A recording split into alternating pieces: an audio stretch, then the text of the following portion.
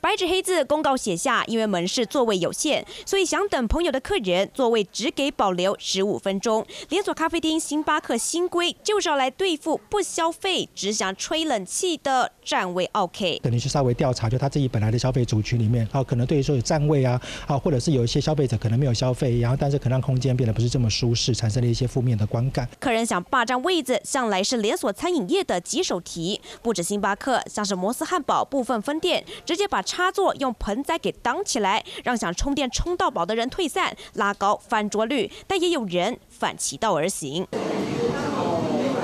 K 书的 K 书，用电脑的用电脑，同样是连锁咖啡厅的路易莎，却广设单人座位，开放插头，仿佛就是欢迎你来占位使用。在正常的情况下，一间连锁的咖啡厅翻桌率单日大概是四到五次。业者会想尽办法拉高这个数据的原因，就是因为翻桌率是影响单日营收额的关键数据。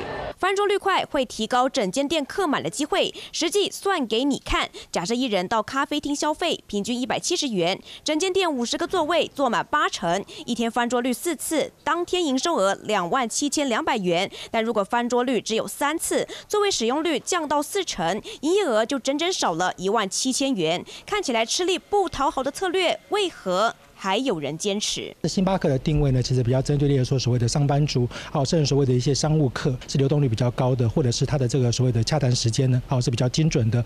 好，但是呢，对其他连锁品牌来说的话，他可能就要考量到说，那其他的客群，例如说学生客群，好，那他可能认为说，哦，如果里面有一些这个现实的考量，他就觉得压力比较大。